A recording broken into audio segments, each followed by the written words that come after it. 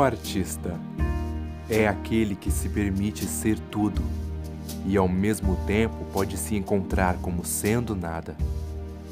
É aquele que perante a sua criação pode exigir muito de si, porém o mesmo nunca se desampara.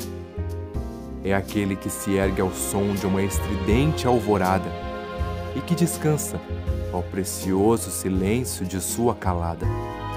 Se duvida, logo para. Não existe espaço para o temor. Se volta para sua alma cantada e se entrega de coração ao seu amor.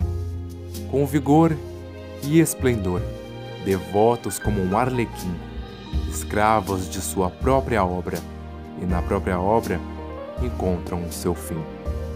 Mas antes do fim, há um começo, da abnegação, o desejo, da importunidade, o ensejo, e da escuridão, o lampejo.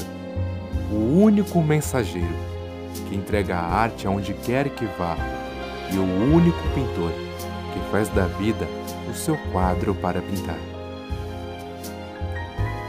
O artista é inebriante, sabe como conquistar a multidão, pois o artista sobrevive pela mente, mas se vive pelo seu coração.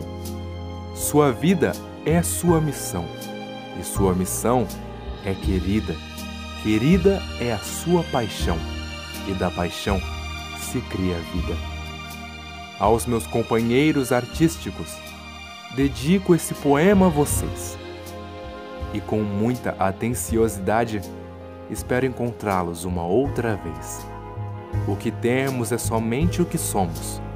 Sonhos que vão muito além da fama. O que fazemos é uma verdadeira arte, e a arte é se dedicar pelo que ama. O que lhes digo é com sinceridade, mas é apenas mais uma perspectiva de alguém que se encontrou em meio à arte e que hoje se considera um artista.